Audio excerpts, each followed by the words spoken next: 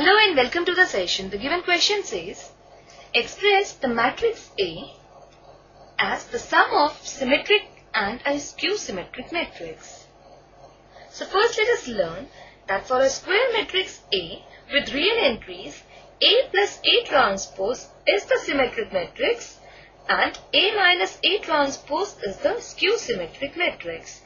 And the square matrix A can be expressed as the sum of skew symmetric matrix and the symmetric matrix. That is, A can be expressed as A plus A transpose divided by 2 plus A minus A transpose divided by 2. So let's start with the solution. And we are given the square matrix A with elements 1, 3, 5 in the first row, minus 6, 8, 3 in the second row, minus 4, 6, 5 in the third row. First let us find A transpose which we get on interchanging the rows and columns. Again it will be a 3 cross 3 matrix and 1 minus 6 minus 4 will be the elements of the first row. Then we have 3, 8, 6 and 5, 3, 5. First let us find symmetric matrix and it is given by A plus A transpose and now let us find A plus A transpose.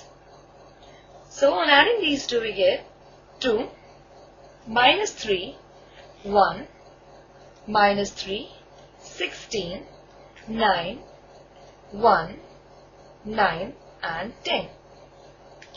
So let us check whether this is a symmetric matrix or not. Let us name this matrix as B. Now B will be a symmetric matrix if we have B is equal to B transpose. So let us find B transpose. Its element will be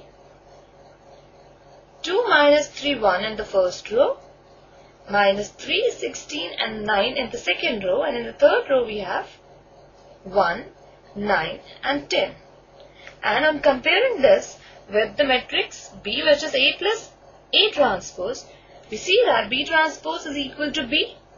So this implies that A plus A transpose is a symmetric matrix.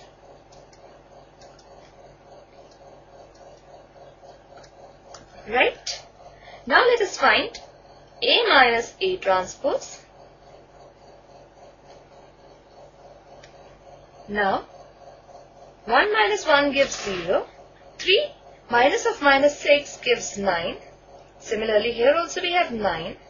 Then we have minus 9, 0, minus 3, minus 9, 3 and 0. Let us name this matrix as C. Now let us check whether A minus A transpose is a skew symmetric matrix or not.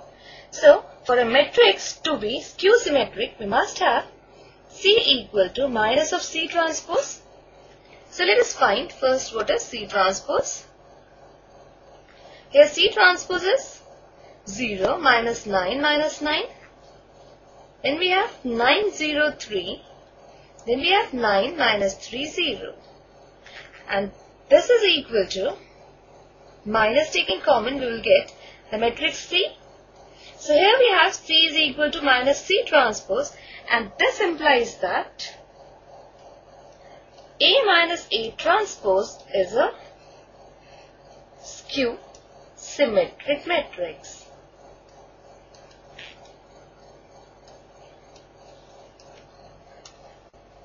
Now we will show that A can be expressed as A plus A transpose divided by 2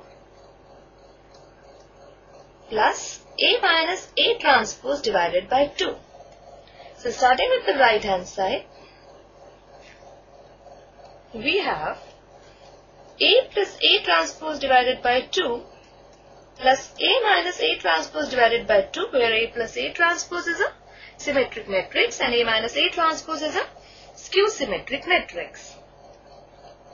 So A plus A transpose we have this matrix. So dividing each element by 2, we have 1 minus 3 by 2, 1 by 2, minus 3 by 2, 8, 9 by 2, 1 by 2, 9 by 2 and 5 plus A minus A transpose divided by 2. So here also dividing each element by 2 we have 0, 9 by 2, 9 by 2, minus 9 by 2, 0 minus 3 by 2, minus 9 by 2, 3 by 2 and 0. This is further equal to, on adding both the matrices, 1 plus 0 gives 1, minus 3 by 2 plus 9 by 2 gives 6 by 2 which is equal to 3. Then half plus 9 by 2 gives 10 by 2 which is equal to 5. Then we have minus 6. Then we have 8. Here on adding 9 by 2 with minus 3 by 2 we get 6 by 2 which is equal to 3. Here we have minus 4. Here we have 6 and 5. Now on comparing this with the given matrix A, we find that this is equal to the matrix A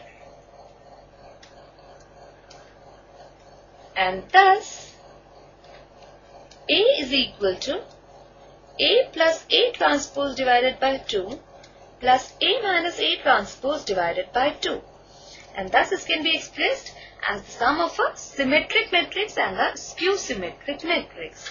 So this completes the session. Bye and take care.